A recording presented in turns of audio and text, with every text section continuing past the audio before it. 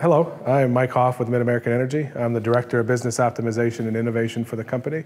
Um, and I kicked off our work with Index AR regarding ebooks and, and augmented reality applications. About three or four years ago, we, we discovered a, a true need to transform the way we provide training to our employees. We wanted to do something much more interactive and, and a lot of integration into the technology that they use today. So that's where we chose to look at ebooks and augmented reality applications. We knew that if we just took the written material that we had and we brought in some videos that we show now, which, which coincidentally were on VHS tapes, or we'd go on YouTube and find those. It would be okay, it would be, it'd be enhanced, it'd be a little bit better, but what we really want to do is capture the knowledge of our employees and put their voice into the training.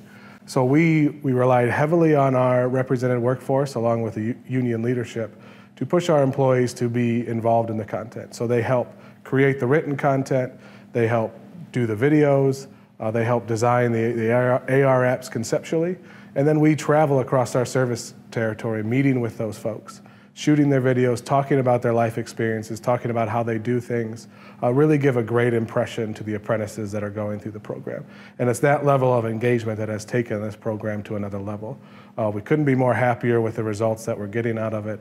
It's truly invigorated and empowered our workforce to make these apprenticeships and crafts their own and gives a great pride in workmanship.